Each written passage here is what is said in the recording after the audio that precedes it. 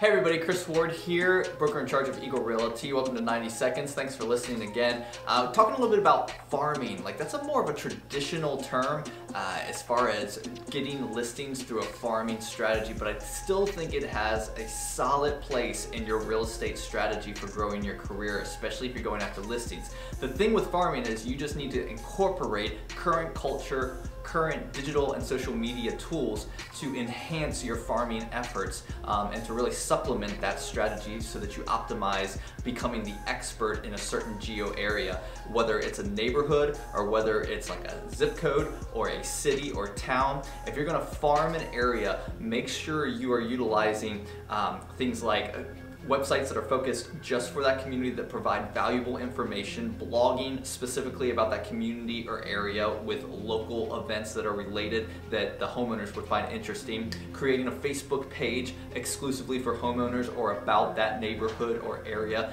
and really trying to um, create the digital presence and your expertise as part of your farming strategy. If you have any more questions about how you can enhance farming strategies within your real estate career, please reach out to me. I would love to help.